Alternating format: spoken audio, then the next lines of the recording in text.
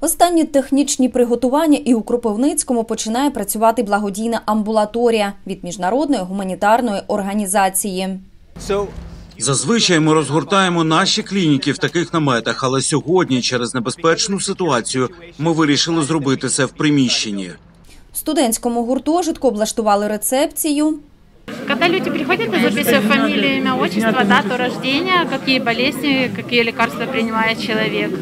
Вот, и тогда мы направляем его конкретно к доктору. Мы меряем температуру, давление. Далі пацієнт прямує в кабінет лікаря. Їх працюватиме в амбулаторії троє кардіолог та два травматологи. Всі зі штатів, тож спілкуватимуться з клієнтами з допомогою перекладачів. Ми будемо робити тут базове обстеження, призначати лікування, виписувати рецепти. В разі складних випадків направлятимемо пацієнтів в місцеві лікарні. Hospital for labs. Призначені ліки можна отримати безкоштовно в сусідньому кабінеті.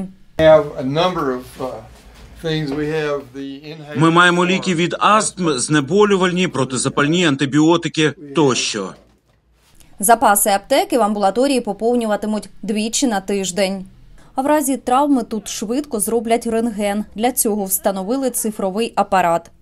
Розрахована амбулаторія в першу чергу на переселенців. Таких на Кіровоградщині оселилося понад 15 тисяч, 50 проїхали транзитом. Щодня тут планують приймати близько сотні пацієнтів. В разі потреби збільшать штат і перелік послуг.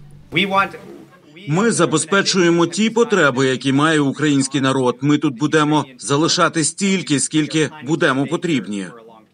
Юлія Бабак, Артур Періханян, телевізійні новини СІБІєн.